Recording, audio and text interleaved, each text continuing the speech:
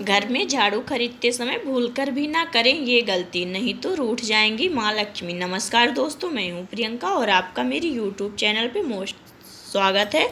हिंदू मान्यता के अनुसार धनतेरस को झाड़ू खरीदना शुभ माना जाता है। ऐसा माना जाता है कि इस दिन झाड़ू खरीदने से घर में माँ लक्ष्मी का वास होता है।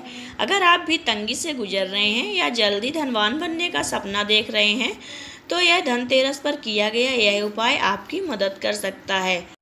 झाड़ू को शास्त्रों में माँ लक्ष्मी का स्वरूप माना जाता है। धनतेरस में झाड़ू तो सभी खरीदते हैं, पर उनसे जुड़े नियम ना जानने से माँ लक्ष्मी को खुश करने के बजाय नाराज़ हो जा, कर देते हैं। माँ लक्ष्मी नाराज़ हो जाती हैं।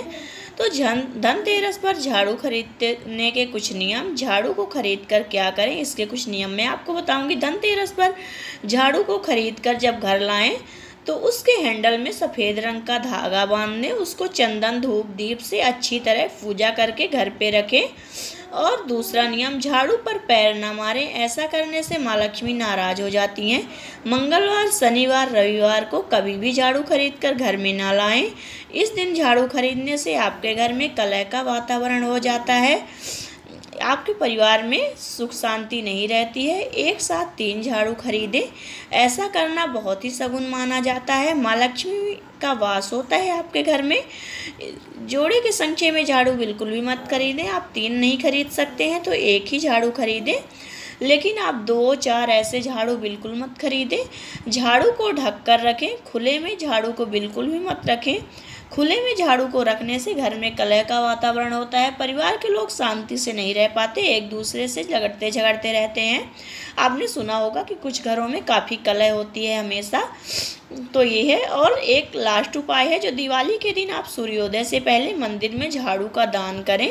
इससे माँ लक्ष्मी आपके घर में वास करती हैं बट ये झाड़ू जो आप दान करें मंदिर में, उस झाड़ू को आप धनतेरस के दिन खरीद के ही अपने घर पे लाएँ, और दिवाली वाले दिन सूर्योदय से पहले उसे मंदिर में ले जाकर दान कर दें। ऐसा करने से आपके घर में बहुत सारा धन होगा। माँ लक्ष्मी की कृपा बनी रहेगी, सुख शांति बनी रहेगी और आप सारे परिवार के लोग सुखी रहेंगे। प्लीज़ आप लोगों को अगर मेरी वीडियो पसंद आए हो तो लाइक करें, मेरे चैनल को सब्सक्राइब करें और इस जानकारी को अपने फैमिली फ्रेंडों के साथ शेयर करना बिल्कुल भी मत भूलिए, क्योंकि झाड़ू से जुड़ी ये सारी गलतियाँ कोई भी ना करे, जिससे माँ लक्ष्मी उनके घर से रूठ जाए तो आप लोगों से मैं उम्मीद करती हूँ कि आप लोग मेरी वीडियो को अपने फैमिली फ्रेंडों के साथ शेयर करेंगे। Thanks for watching D